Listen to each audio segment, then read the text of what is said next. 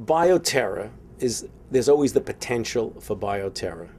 And we have a major biodefense research and development effort that spans agencies from the NIH to do the basic research to be able to develop better vaccines, how you counter engineered microbes, how you approach drug resistance engineered microbes.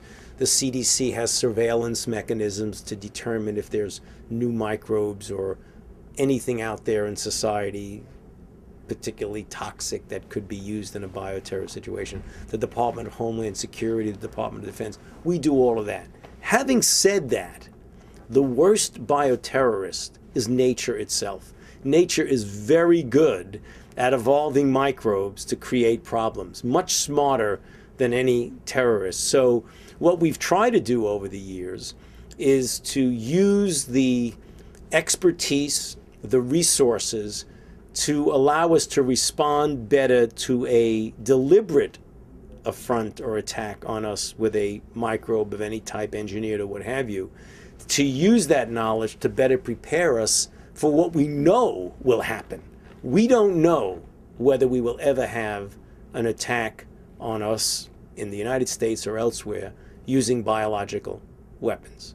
We absolutely know that we will have the evolution of a new disease naturally occurring that will impact society. And the reason is because history has told us that that will happen. I can't predict to you when the next one will be. Hopefully, it won't be for a very, very long time, but it will happen. There's no doubt it will happen. So instead of looking at it in two separate silos of biodefense for biological threats that are deliberate and countermeasures for naturally occurring, you should essentially pool the science so that you could do both.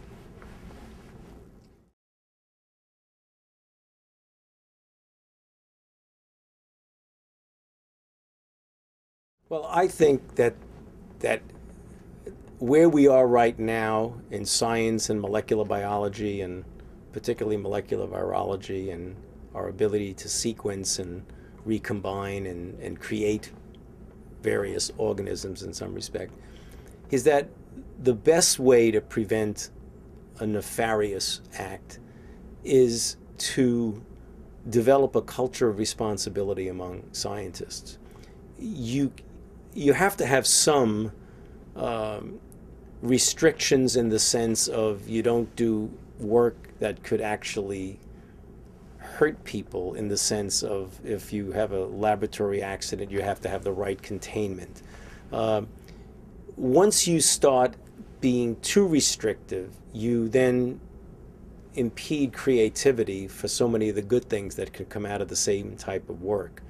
So if you develop a culture of responsibility, the vast, vast, vast, vast majority of work on that area will be done for the betterment of mankind. There are always going to be the bad guys around, somewhere, someplace. You would hope that they don't have the opportunity to do something that is going to ultimately hurt mankind. When I say that, I get back to what I mentioned just a moment ago that the chances of nature creating something really bad is much better than we mere mortal humans doing it.